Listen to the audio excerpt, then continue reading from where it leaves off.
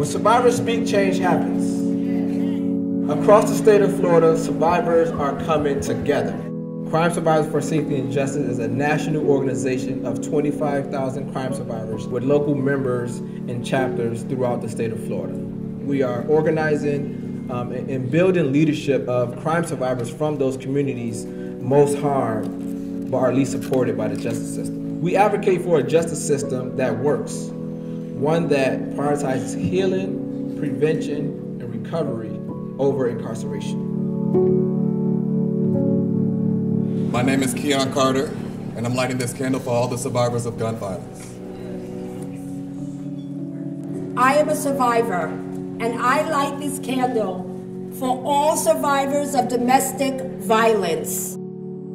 I am a survivor, and I light this candle for all childhood sexual assault.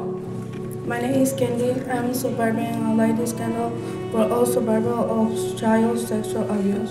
For all parents who have lost their children for violence. Now we'd like to take a moment of silence to honor our loved ones. As we sit here in this moment of silence, call out the name of your loved ones that you would like to bring into this space.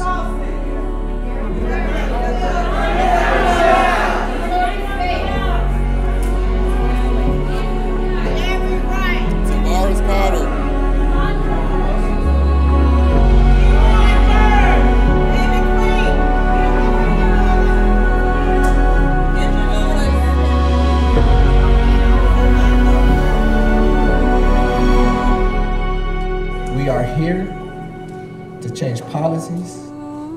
We are here to share our stories. We are here to heal together.